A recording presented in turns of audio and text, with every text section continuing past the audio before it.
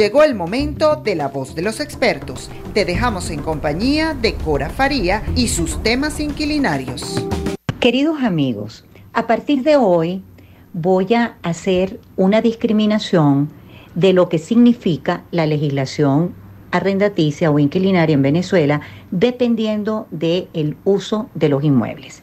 Voy a comenzar con la ley de arrendamientos inmobiliarios que regula el arrendamiento y el subarrendamiento de inmuebles urbanos y suburbanos que no sean vivienda, que no sean comercio, pero que sí sean galpones industriales, profesionales, escuelas o colegios de enseñanza y consultorios médicos. Porque cuando se trata de inmuebles como fundos, hoteles, posadas, em, cualquier parador turístico, queda amparado los primeros por el Código Civil que es el vigente, el de siempre, y los segundos por las leyes especiales que así lo regulan.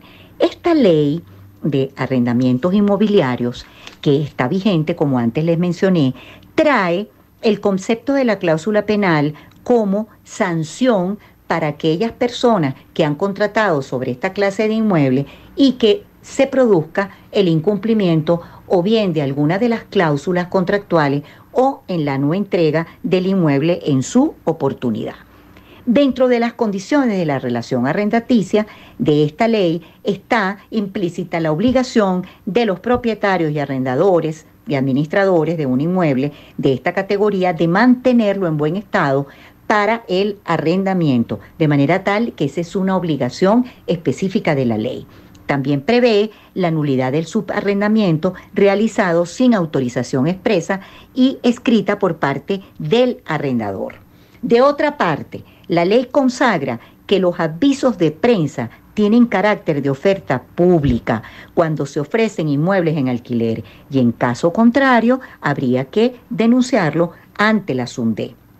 También existe la prohibición de avisos o de anuncios de prensa con determinadas menciones, como por ejemplo no tener niños, ser extranjero, la discriminación por raza, sexo o credo.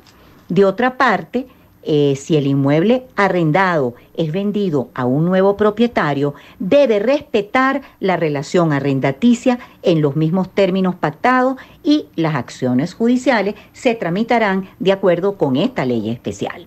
Prevé esta ley que la garantía del contrato puede ser el depósito o la fianza. El depósito no debe ser mayor de cuatro mensualidades del alquiler, más los intereses que no pueden ser imputados al pago de los cánones de arrendamiento. Y el arrendador amparado por esta ley, debe colocar ese depósito en una cuenta de ahorro y los intereses corresponden al inquilino y se van acumulando a esta garantía real.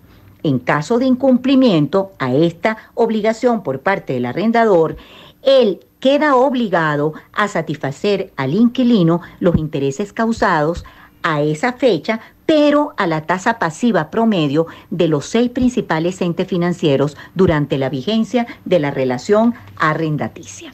De otra parte, también es muy importante considerar que todas las demandas que se, que se refieran a esta clase de inmueble se van a sustanciar y tramitar por el procedimiento breve, independientemente de la cuantía. Existen causales específicas de desalojo, existe el procedimiento judicial inquilinario, no hay recurso de casación cuando se trata de acciones por desalojo en segunda instancia.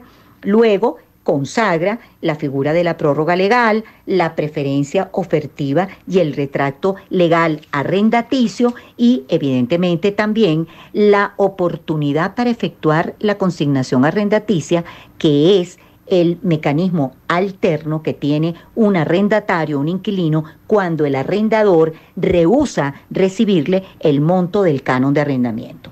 También consagra el reintegro inquilinario y obviamente que también, o como cualquier legislación, cuando se viole alguna de estas normativas que es lo que nosotros denominamos ilícitos inquilinarios, existen las sanciones administrativas que son multas. Lógicamente, esa multa se notifica, se le impone, esto tiene que ser evidentemente em, causada.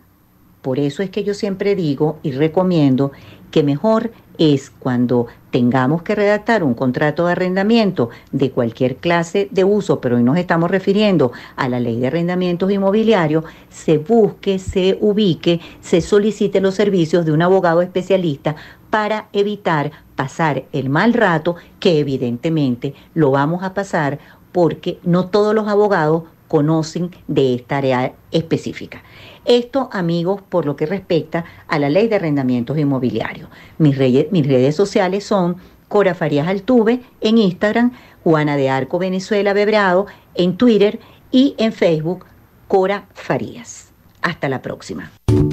¿Quieres más detalles o enviar una duda a los expertos de este programa? Escríbenos desde el portal www.micondominio.com. Bye.